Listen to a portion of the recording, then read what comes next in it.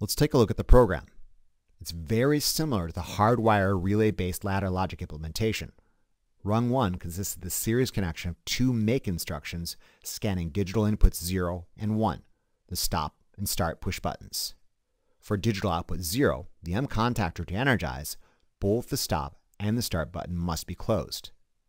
Rung 2 is a holding circuit based on the real-world status of the M contactor rather than some programmed instruction. If the M contactor truly closes, the M1 auxiliary contact closes, and digital input 2 establishes a holding circuit. Digital input 2 in rung 3 also starts a timer with a 3 second preset executing the DOE function. When the timer is complete, the timer done instruction in rung 4 energizes digital output 1, the shunt contactor. An operator can press and release stop to stop the motor and reset the system. Here's a real-time simulation of this circuit using Automation Studio. As we illustrated in the walkthrough, an operator presses and releases start to close the M contactor, which establishes a holding circuit and starts the timer. Three seconds later, the timer reaches its count and closes the shunt contactor, shorting out the resistor bank. As we anticipated, the motor starts in high resistance mode with high starting torque and less inrush. After a predetermined delay allowing for a degree of acceleration, shunt contactor shorts out the rotor resistance bank and the motor switches to low resistance mode, suitable for high speed, efficient operation. Here's the system in operation once again. In summary, the PLC implementation behaves exactly like the hardwire relay based ladder logic implementation, only the PLC version is reprogrammable.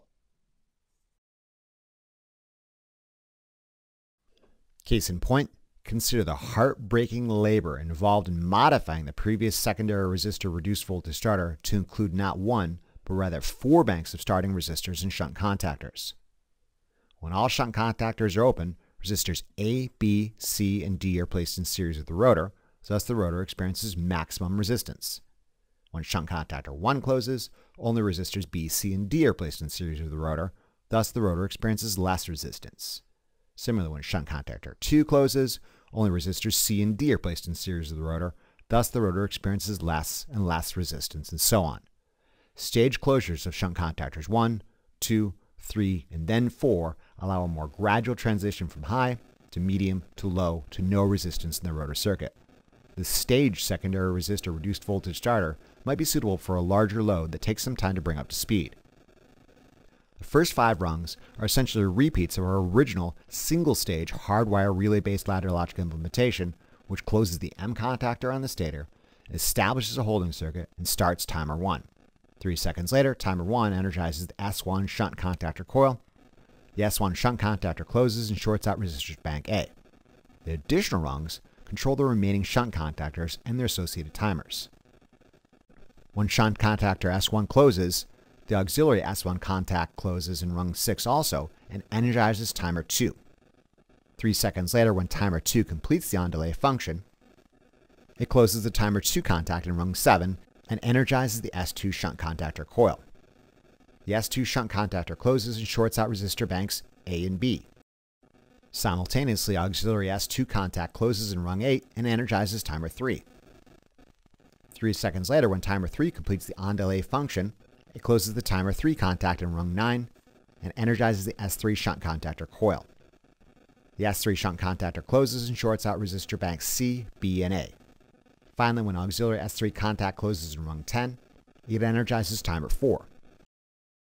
Three seconds later, when timer 4 completes the on delay function, it closes the timer 4 contact in rung 11 and energizes the S4 shunt contactor coil.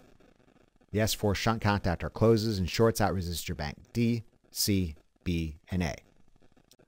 An operator can press and release stop to stop the motor and reset the system. What you get is a stage transition from high to medium to low to no rotor resistance, suitable for a heavy load that takes some time to bring up to speed.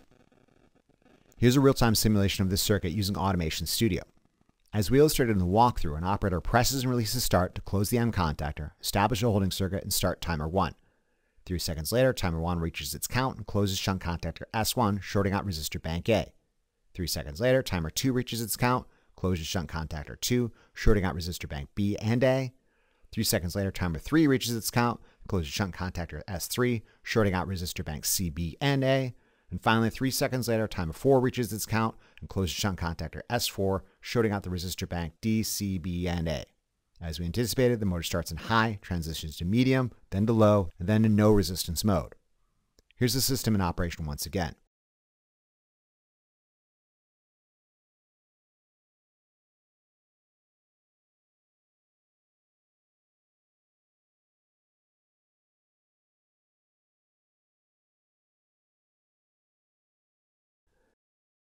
In summary, by rewiring the hardwire relay based ladder logic implementation, it gained new functionality. This being said, imagine all the heartbreaking work that went into this. Look at this.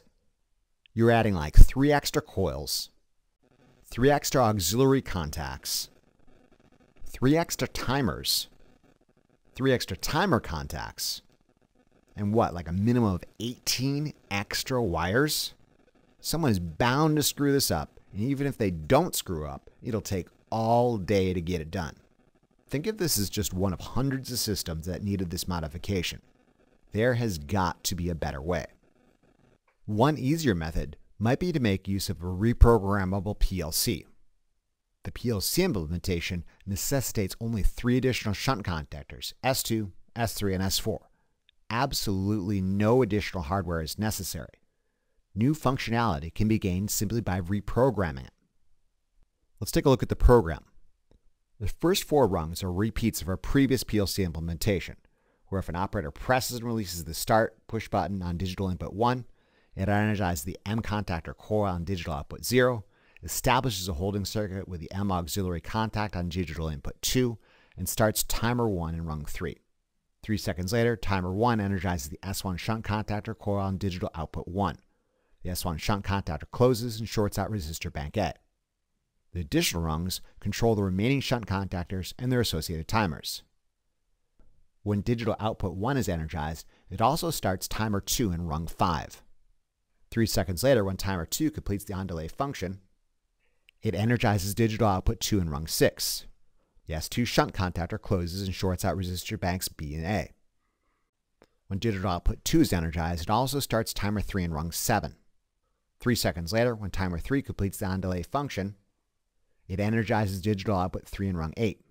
The S3 shunt contactor closes and shorts out resistor banks C, B, and A. Finally, when digital output 3 is energized, it also starts timer 4 in rung 9. Three seconds later, when timer 4 completes the on delay function, it energizes digital output 4 in rung 10. The S4 shunt contactor closes and shorts out resistor bank D, C, B, and A. As with a hardwire relay based ladder logic implementation, what you get is this staged transition from high to medium to low to no rotor resistance, suitable for a heavy load that takes some time to bring up to speed. An operator can press and release stop to stop the motor and reset the system.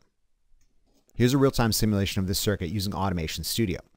As we illustrated in the walkthrough, an operator presses and releases start to close the M contactor, establish a holding circuit, and start timer 1. Three seconds later, timer 1 reaches its count and closes shunt contactor S1, shorting out resistor bank A. Three seconds later, timer 2 reaches its count, closes shunt contactor 2, shorting out resistor bank B and A. Three seconds later, timer 3 reaches its count, closes shunt contactor S3, shorting out resistor bank C, B, and A. And finally, three seconds later, timer 4 reaches its count and closes shunt contactor S4, shorting out the resistor bank D, C, B, and A. As we anticipated, the motor starts in high, transitions to medium, then to low, and then to no resistance mode. In summary, by reprogramming rather than rewiring the PLC, it gained new functionality. Trust me, reprogramming sure beats rewiring, especially if this is just one of many systems necessitating this modification. Alright, that's all I've got for you today. In conclusion, this lecture examined hardwire relay-based ladder logic and programmable logic controller, or PLC-based implementations of single-step and stage secondary resistor reduced voltage starters used to reduce inrush current demand for wound rotor induction motors. Remember to review these concepts as often as you need to really drive it home. Imagine how well lab will go if you know what you're doing. Thank you very much for your attention and interest, and we'll see you again during the next lecture of our series. Remember to tell your Lazy Lab partner about this resource, and be sure to check out the Big Bad Tech channel for additional resources and updates.